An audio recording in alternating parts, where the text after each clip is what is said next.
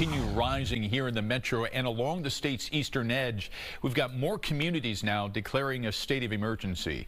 Both the St. Croix and Mississippi rivers, they're expected to crest yet this weekend, meaning flood conditions along those waterways they're only going to get worse.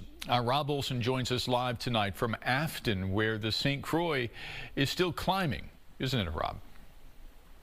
Yeah, it is, Tim. In fact, it's got another about a half a foot to come up. The crest here now pushed back until Monday, and the predictions are after that it's going to come down very, very slowly. This is very much uh, dissimilar, very different from springtime flooding after the snow melt where everything comes in fast and goes away fast. It's been slowly, steadily rising, will go down just as slowly. And of course, you know what next week is. It's typically a very, very busy time out here on the river. The 4th of July weekend, this couldn't come at a worse time.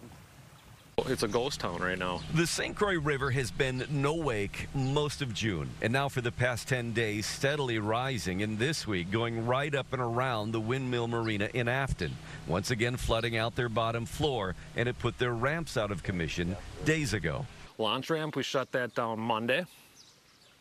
Uh, we just turned the fuel off today. On Friday, they decided to close up the business entirely, right as they head into their most lucrative time of the year, the 4th of July holiday. Busiest week of the year. Before now, they say they've only seen it this bad during springtime floods, before they get busy, not right when they become their busiest.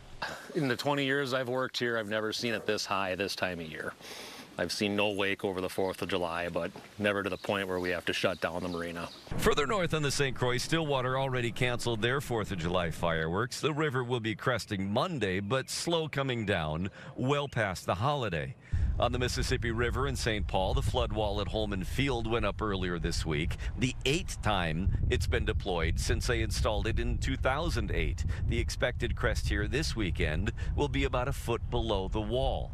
Over on Harriet Island, most of that went underwater days ago, but the Mississippi is expected to drop a little quicker, predicted to come down some seven feet by next Friday. But future events here do remain in question for now.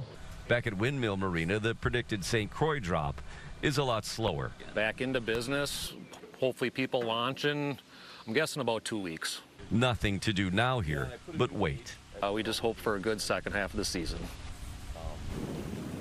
Yeah, I've been out here uh, the 4th of July weekend. It is typically very, very busy. Uh, won't be this year. There's still some boats that can get out, the ones that have slips, but you might have to drive or wade through water to get too many of them. Again, remains no wake with some debris in the water. Haven't seen a lot of that, but that's the warning as well.